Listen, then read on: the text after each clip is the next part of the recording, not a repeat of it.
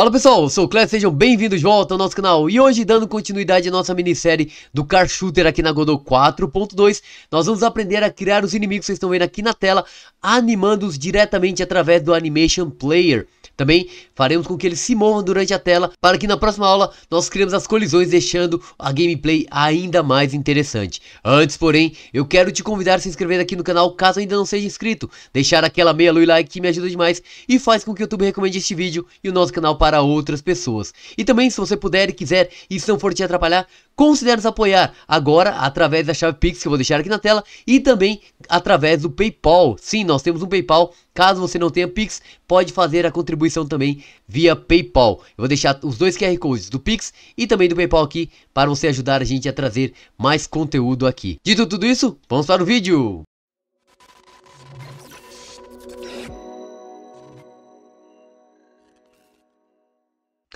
Muito bem, eu já estou com a Godot aberta e como sempre eu vou deixar disponível para vocês os assets que nós vamos usar para criar os nossos inimigos, que serão esse bugzinho aqui, ó, vocês estão vendo, é um bug alado.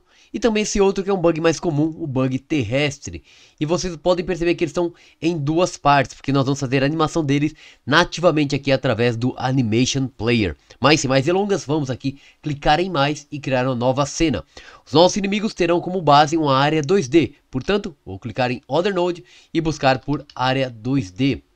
Já renomeando ele aqui para Ground Bug, que será o nosso inimigo inseto de terra ou terrestre se preferirem. E para ele nós teremos esses dois assets. Vou clicar aqui em um, segurar o shift e arrastar os dois. Ele já vem montado bonitinho pra gente. Vocês podem até renomear se desejarem, tá? E posicionar aqui onde quiserem. Mas um detalhe importante, que onde vocês posicionam tem a ver com a origem. Essa aqui é a origem do nosso asset que é o nosso área 2D. Então as minhas imagens eu vou deixar aqui mais para cima, tá bom? Isso aqui é importante no ponto de origem em si, para ficar bem localizado. Se vocês quiserem deixar no centro, não tem problema, mas eu vou dar essa leve deslocada. E como é uma área 2D, nós estamos aqui com alerta, porque ele precisa de um Collision Shape para colidir com os corpos físicos. Sabendo disso, vamos clicar em mais e buscar por Collision Shape 2D. Também vou renomear aqui, apenas para simplificar. Essa vai ser a nossa área de colisão que está com alerta, justamente porque precisa de um shape, um recurso de shape ou forma para que a colisão seja de fato funcional. É bem simples, com ele selecionado aqui do lado direito em Shape, onde está Empty, clicamos e vamos escolher aqui um New Circle Shape, já que a nossa, é, a nossa joaninha ela é meio que circular, tá? Nota que ela está bem pequena em relação ao nosso sprite e nós vamos aproveitar e diminuí-lo, selecionando ambos também com Shift. Em Transforms, mudar nossa escala para 0.70. Vai ficar um pouquinho menor e mais interessante em relação ao tamanho do nosso player. Agora sim, trazemos um pouco para cima e vamos aumentar. Fica a critério de vocês, mas eu quero que a nossa colisão aconteça apenas nessa área, para que não fique também tão vantajoso para o nosso player, tá? Então essa parte aqui não é detectável. Agora a gente pode dar um Ctrl S e salvar o nosso primeiro bug aqui dentro de Prefabs. Eu sei que ele não é necessariamente prefab, mas ele vai ser um scene, então assim o chamarei de prefab. Salvamos. Agora vamos criar a animação dele. Para isso, aqui na nossa área 2D, clicamos também mais e buscamos por Animation Player. Aqui está, vou renomear apenas para NIM para ficar simplificado. E agora o que vem de legal. Eu vou esconder a nossa colisão temporariamente e vamos clicar em Animation para criar uma nova animação, que eu vou chamar de Walk. E aqui nós vamos fazer a animação de cada um dos sprites. Temos dois, só para vocês perceberem. Estão vendo? Se porventura um estiver abaixo do outro, ó, isso pode acontecer, basta reorganizar na árvore de nós. Como a gente vai fazer para animar? Vocês vão notar que cada um dos sprites aqui na aba Transform tem a chavezinha para cada uma dessas propriedades. A que a gente vai trabalhar é a nossa posição para dar um movimento de bounce ou um leve balançar. Vamos selecionar ele aqui e simplesmente clicar no nosso position, na posição que ele está. Criou um quadro aqui, perfeito. Mas agora, em vez de ficar clicando em cada uma das chaves, aqui em cima vocês vão reparar que tem um botão REC, ou seja, gravar. Você vai clicar, ele vai ficar vermelho e agora tudo que você fizer vai ser gravado. Então a gente vai mover a nossa agulha, essa agulha aqui da animação até o ponto 2 e vamos simplesmente, repare que eu estou na cabeça, mover um pouco. Já criou um quadro, movo até o 4 e desço. Movo até o 6, subo, movo até o 8 e desço um pouco. E depois termino clicando aqui em Rec. E agora no primeiro quadro, você vai clicar sobre, ele vai ficar azul, vai até o último e simplesmente clica com o direito e duplica. Agora a gente tem esse leve balançar. Vamos deixar em loop e dar um play. Olha que legal, tá? Vocês podem deixar assim e está perfeito. Só que para que ele fique mais interessante, nós vamos dar um leve squash, um achatado no corpo. Vou clicar agora no corpo, clicar aqui em Transform. E como é um squash, vou trabalhar aqui com o nosso Scale. Mesma coisa, clico a primeira vez para criar o quadro. Note que ele criou uma faixa diferente na mesma timeline. E agora, para nós gravarmos a parte de Squash, você vai clicar nesse botãozinho que está desligado, que é o Scale. Note que o Position Rotation está ligado. Ligue também o Scale e clique em Rec. Agora, vamos até o quadro 2 e simplesmente achatamos um pouco. Ele vai gravar para a gente. Avançamos e vamos desachatar, entre aspas. Só que para ficar mais prático isso aqui, eu vou desligar e simplesmente clicar nesses dois, ó, clico e arrasto, direito e duplico. Ele vai colocar na posição certa. Avanço, direito e duplico, já que é uma repetição de squash. Estão vendo? Vou dar um play aqui e a gente tem essa movimentação bem interessante e bem simples até, mas já mostra o poder que tem o nosso Animation Player aqui na Godot. Podemos salvar, marcando Auto Start e finalizando essa parte da animação do nosso bug. Para o nosso inimigo alado, nós vamos usar a mesma estrutura, então eu farei um pouco mais acelerado, com detalhe apenas na questão das asas, mas eu vou mostrar para vocês. Vamos clicar em uma nova cena aqui, tá? Posso duplicar também a cena, claro que eu posso, mas eu quero que vocês repitam. É através da repetição que a gente consegue memorizar as coisas, tá? área 2D. Renomeamos aqui para Air Bug, para ficar o nosso aéreo. E vamos trazer as nossas sprites, a asa e no caso nosso bichinho roxo, para cá. Também trabalhando a nossa escala para ponto 70 e posicionando aqui no centro, tá? Vocês notaram que nesse caso aqui, inclusive ele ficou na posição errada. Foi legal ter acontecido isso, a gente pode jogar ele simplesmente para cima, ó. traz para cá, agora está certinho. No outro ficou mais preciso, né? Isso pode acontecer. E aqui, no caso da asa, eu vou apertar Ctrl D, duplicar essa asa e jogar antes do corpo do nosso personagem. Assim a gente tem a impressão que essa asa está por trás. E para finalizar da ideia de sombra, a gente vai aqui embaixo, ó, Invisibility, pegar o Modulate e traz só um pouquinho de cor. Estão percebendo que escureceu? Isso já dá uma perspectiva diferente para a gente também, aproveitando a mesma imagem. Assim como a anterior, vamos colocar uma collision shape, já que é uma área também, renomear para collision. E colocar o shape aqui só no corpo, tá? Eu não quero que essa colisão esteja posicionada a partir das asas, então a gente tem que ser um pouco mais preciso no tiro. Legal.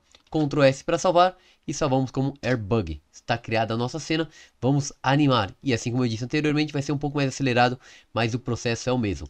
Animation Player, criamos aqui. Renomeamos para Anime. Clicamos em Animation, nova animação. Eu vou chamar de Fly. E aqui a diferença é que eu vou começar pelo corpo. Mesma ideia, mas eu vou primeiro já achatar o nosso corpo. Indo em Transform, aqui no nosso Scale, clicamos.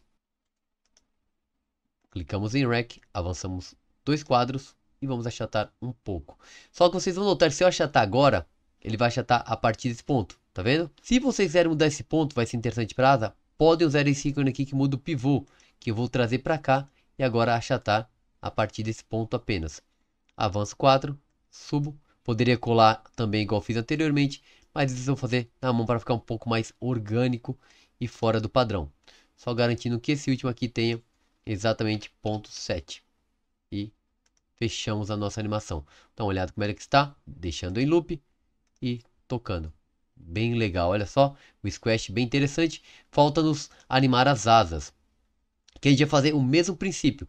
Porém, em vez de nós achatarmos, vamos trabalhar com a propriedade de rotação. E para a rotação funcionar legal, vou clicar aqui, vão perceber que quando a gente rotaciona, é pelo centro que a Godot rotaciona nosso sprite. É onde vai entrar esse ícone de pivô. Eu clico aqui e agora a rotação é a partir daquele ponto. Viram só que legal? Maravilha. Voltamos ao início da nossa timeline. Vamos clicar a primeira vez para começar a gravação da rotação. E agora, ativando o REC, avançamos, rotacionamos um pouco, avançamos, eu vou rotacionar um pouco mais e agora eu vou voltar. Olha que simples. É legal essa técnica do REC porque a gente consegue fazer um voo mais facilmente do que decorar pontos. Viram? Olha que bacana. E agora só repetir isso para outra. Eu vou fazer acelerado, mas vocês podem fazer o mesmo processo.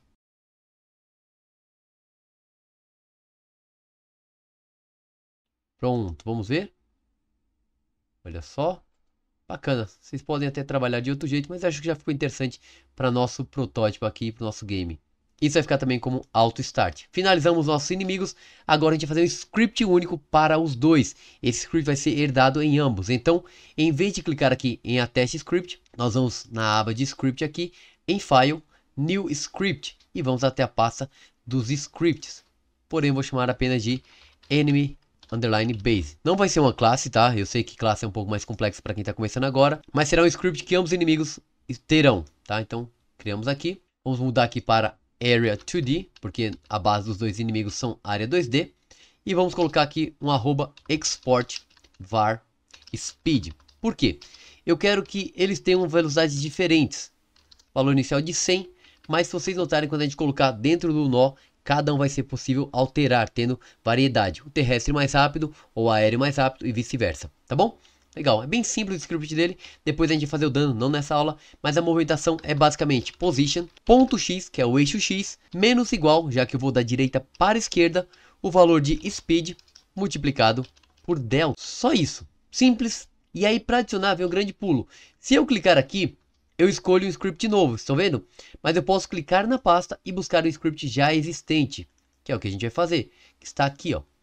Perceba que agora mudou para load em vez de create carregamos aqui.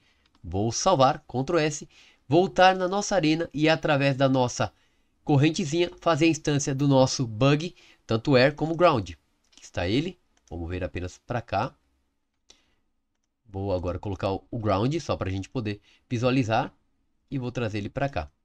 Lembra que nós colocamos o script apenas em um, então olha o que vai acontecer quando nós testarmos. Olha que bacana, o aéreo está funcionando, animando e também se movendo. Poderia ter um sign também para fazer a movimentação ondulada, mas isso é um pouco complexo para quem está começando. Só essa movimentação simples já deixa o jogo bem interessante para vocês. E aí, para a gente matar com o nosso ground, olha que legal. Vamos aproveitar script. Eu vou clicar aqui também, em vez de criar, vou na pasta e busco o script já pronto também que nós criamos o enemy base. E o que, que é legal agora? Ctrl S para salvar. É que a gente pode voltar na arena e perceber que tanto no airbug como no ground bug nós temos aquela variável speed aqui dentro do inspetor. Então vou fazer com que o nosso ground bug tenha 100, como já está, mas que o airbug seja um pouco mais rápido, com 150. E se nós testarmos agora, vocês vão perceber que um move-se mais rápido que o outro. Olha que bacana. Legal. Muito bem. E assim nós finalizamos essa aula.